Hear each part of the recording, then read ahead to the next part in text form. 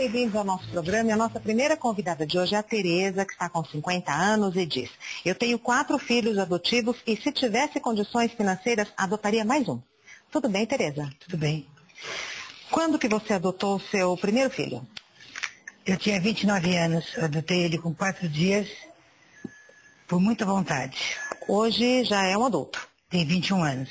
Tá. E os três últimos vieram quando? Agora em janeiro.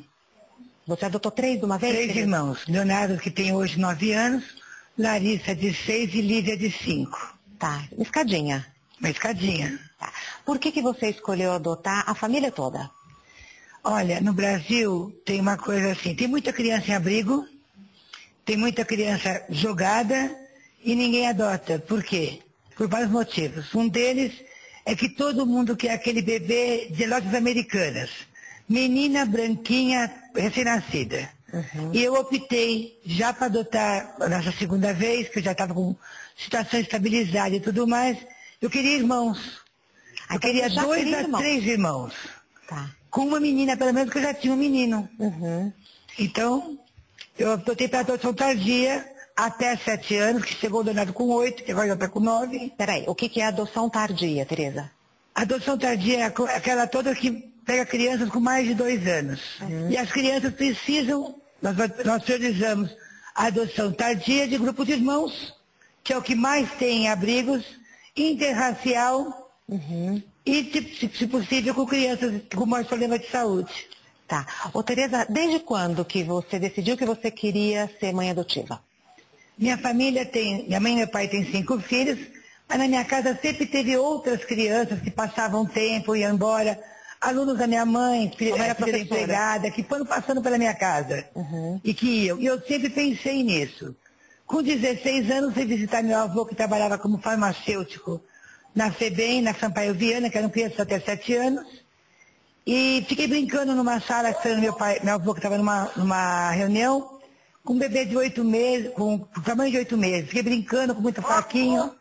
Na hora de ir embora, a neném né, chorava de um lado, eu chorava do outro, e ia levar embora. Você Daí com pra frente 16 eu jurei que um dia eu ia adotar. Chegou a casar ou não, Tereza? Não. Tá. Bom, aí decidiu que estava na hora de adotar uma criança. Sim. Nessa época você já tinha, o quê, uns 20 e tantos anos? Já tinha 20, quando eu decidi para eu começar a procurar a adotar, eu já tinha 25. Aí tem todo um trabalho antes. Hum. A gestação normal é de nove meses. A gestação adotiva é muito maior. Por quê, Tereza? Porque você começa a ter um convencimento seu mesmo, você pensa muito antes de fazer, Uma conversa com você com mesma. você mesmo, depois você começa a convencer a família, os amigos, a Qual a gestação reação tem que ser, é, a adoção tem que ser uma coisa compartilhada pela família, porque você não vai adotar uma criança para você. Uhum. Ela vai adotar para o grupo familiar, para o grupo afetivo. Como que as pessoas receberam a notícia? Porque você decidiu ser mãe solteira. Mãe Sim. adotiva solteira. Qual foi a reação? independente, categoria 2. Qual foi a reação da família e dos amigos, Tereza?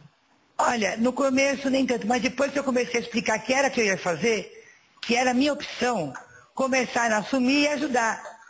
É mesmo? Então, meu filho foi muito bem recebido, foi uma criança que foi sempre muito amada, Uhum. muito esperada.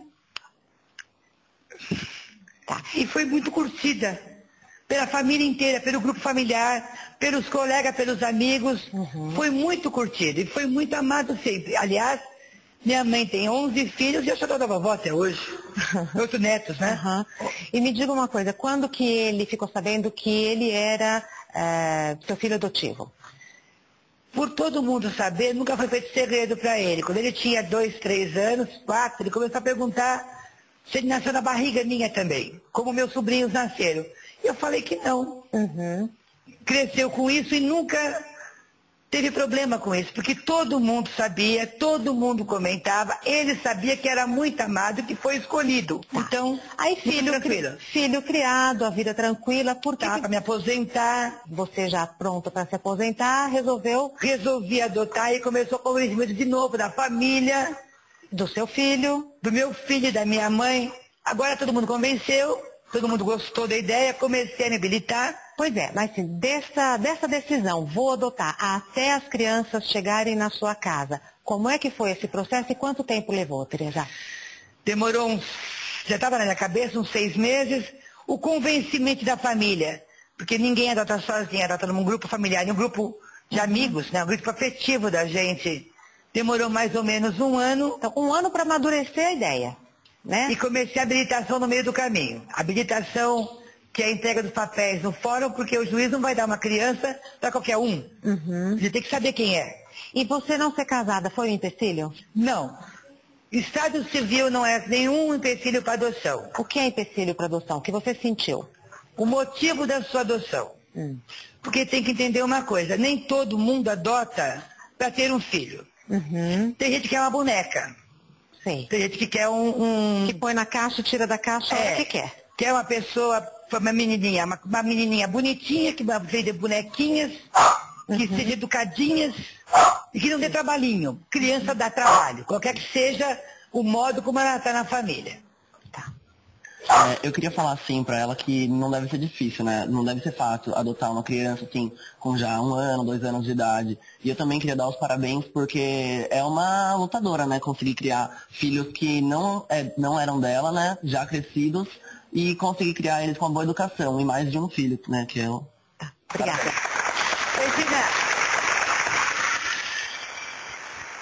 Olha, eu quero deixar uma coisa muito clara. Tem uma coisa, as pessoas são, uh, desculpa, eu sei que a pessoa quer ajudar, quer agradar e tudo mais. Adotar não é caridade. Você não adota para fazer bem, para ajudar, para ganhar lugar no céu. Você adota para ter filhos. Uhum. Senão a coisa fica complicada, inclusive é um motivo de, de, de gente que adota fez promessa. A primeira vez que a criança dá um trabalho, dá um problema, Pô, eu te dei tudo, te cuidei tão bem. E olha o que você está fazendo. É filho, filho é, é filho. filho. É filho. Filho dá trabalho, filho é educado, filho faz gracinha, filho te beija, te abraça, te xinga. Uhum. É filho. Aponta seus defeitos. Aponta seus defeitos, pega no teu pé, enche uhum. teu saco o tempo inteiro, né? Filho. É filho. O seu filho mais velho ficou com ciúmes da molecada que chegou? Vou contar só uma historinha rápida. Meu filho, os filhos mais novos, chegaram agora no Natal. Né? Chegaram assim, vieram passar o Natal com a gente. E na véspera do Natal, chegaram dia 22, dia 23, eu comprei um carrinho de controle remoto para o meu filho de 9 anos, né? Que na época, eu pedi para o meu filho mais velho à noite para carregar, para colocar pilha. Para funcionar na hora. Para o menino né? na hora pegar, pegou. Só o Leonardo que ganha carrinho de controle. Mas, Mas você tem 20 anos, você tem um carro. De Ele verdade. um carro do avô. Ele tem um carro do avô. Ficou com manha, com bico. O do carrinho a, do... do carrinho do outro. Agora, depois de 10 meses, já está. Ele, uhum. ele nunca tratou mal, cuida das crianças, ajuda. Mas você sente uma pontinha de ciúme. Não, agora ele já está percebendo, sabe por quê? Agora ele é o o herói dele. É. é difícil você ficar com ciúmes quando ele chega em casa as crianças, o Marcão, ah. o Marcão, o olhar de admira... você, não dá. O olhar de admiração da criança amolece qualquer pessoa. Amolece, agora está mais molinho, né? Muito Tudo bom, bem? Tudo bom. Eu gostaria de dar parabéns e eu gostaria de falar se a falta de um companheiro não fica difícil é, cuidar da criança. Todo mundo. É. Obrigada. Olha, eu sou solteira, tive namorado, tive tudo que eu tinha coisa. Sou solteira por opção, eu sou uma pessoa muito forte. Eu sou, é, como explicar? Eu sou professora e fui do sindicato, então eu discuti e tudo mais. Homem não gosta de gente, de mulher que pega muito forte, não. Homem não gosta de mulher que tem muita opinião. Uhum. Eu prefiro ser a minha opinião. E eu nunca tive problema por não ter marido. A gente não quer dizer que a gente não tem, né? Não quer dizer que não quer, né? Não, se aparecer, né, tá bom. A gente vai para o intervalo e na volta a gente continua. Até já.